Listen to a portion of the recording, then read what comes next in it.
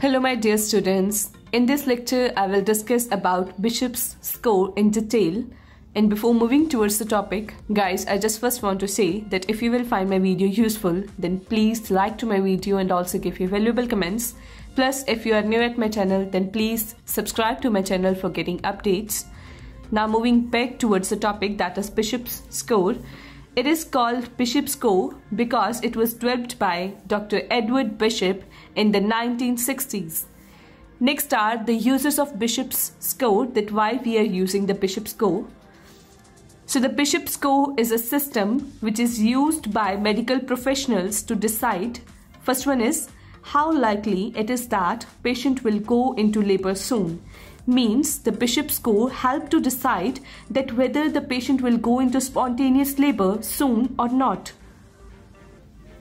Next is to determine whether they should recommend induction means Bishop score help to decide that whether there is a need of induction of labor or not. And third one is how likely it is that an induction will result in vaginal birth means the Bishop score helps to decide that whether the induction of labor will be successful or not, that whether the induction of labor will result in vaginal birth or not. This is the Bishop score. It has five parameters or we can say the components which has to be assessed. First one is cervical dilatation. Next is cervical length or effacement. Next is cervical consistency. Next is cervical position. And last one is the station of the head of the fetus. I will discuss all these parameters one by one. First one is cervical dilatation that how much cervix is dilated or opened. So when it is 10 centimeter, it means the cervix is fully dilated. So when the cervix is closed, then give score 0 and when the cervix is 1 to 2 centimeter dilated then give score 1 and if the cervix is 3 to 4 centimeter dilated then give score 2 and if the cervix is 5 centimeter or more than 5 centimeter dilated then give score 3 the next parameter is cervical length or the effacement of the cervix. Effacement or the length of the cervix what is effacement? It is pulling up of the cervix or taking up of the cervix. As you can see in the diagrams, the cervix is pulled upwards and the muscle fibers of the cervix is mixed or merges with the muscle fibers of the lower uterine segment. As you can see here, here the cervix is fully effaced. Here the muscle fibers of the cervix is merged or mixes with the lower uterine segment the effacement or the cervical length is measured in centimeters. So this means how thin your cervix is. It is normally about 3 centimeter long. Here you can see this is the normal length of the cervix which is 3 centimeter and it gradually means it slowly becomes thinner as the labor progress. So with the progression of the labor the cervix slowly become thinner. The cervix slowly pulled upward and here you can see this is the full length of the cervix that is 3 centimeter and here the cervix become thin that is 2 centimeter and here the cervix is only 1 centimeter and in this diagram the cervix is fully effaced. In the primigravida the cervix first effaced and then dilated like this. Here the cervix is effaced and then dilatation occurs. But in the case of multipara, the dilatation and the effacement both occur simultaneously. Simultaneously means at the same time. So when the length of cervix is 3 centimeter, then give score 0. When the length of the cervix is 2 centimeter, then give score 1. And when the length of the cervix is 1 centimeter, then give score 2 and when the cervix is fully effaced then give score 3. The total score in the case of cervical dilatation and in the case of length of the cervix is 3. The next parameter is consistency. that is the feel of the cervix.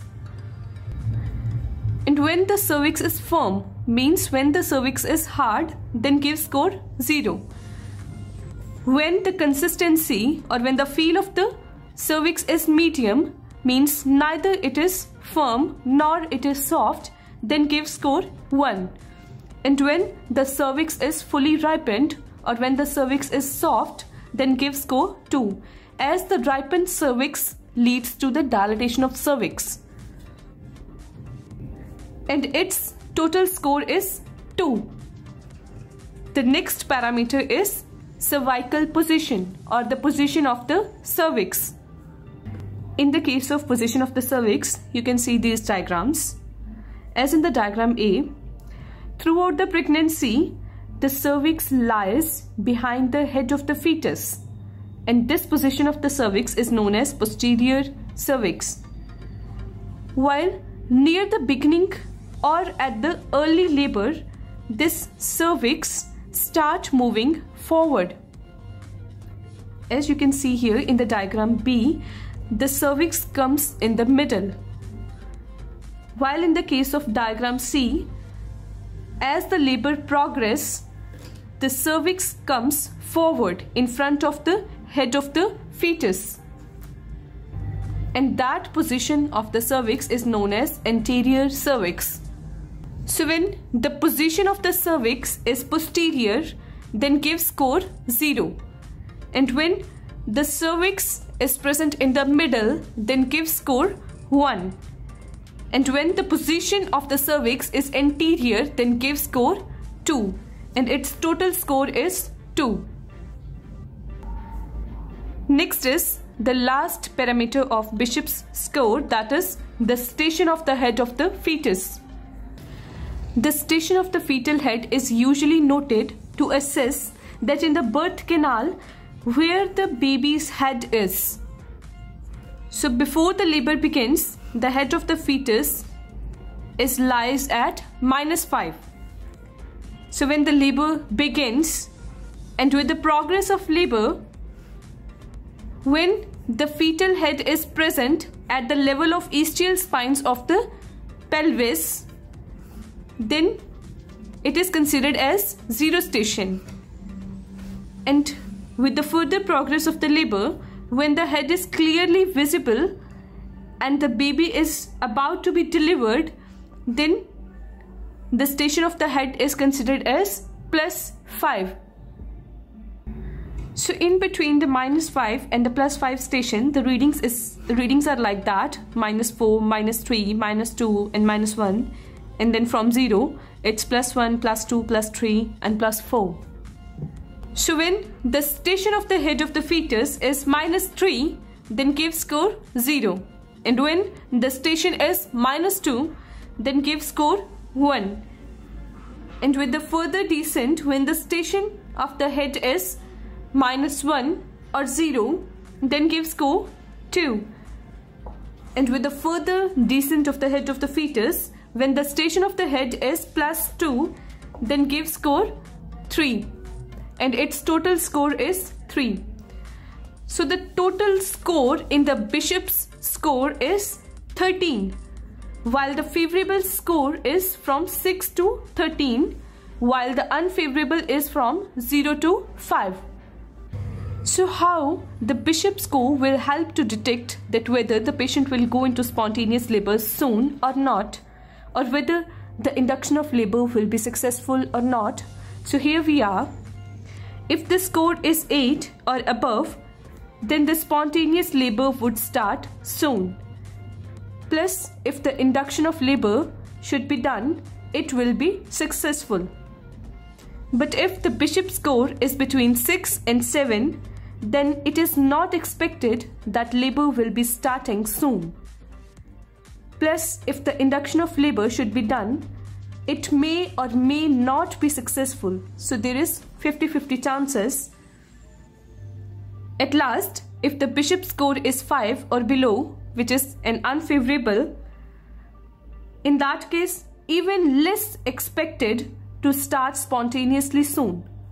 So labor is very less expected to start by its own anytime soon. And if the induction of labor should be done, it will not be successful. That's all about Bishop's score. I hope you all are clear with this topic, but still, my dear students, if you have any kind of query, then please ask me in the comment section. I will definitely answer your queries.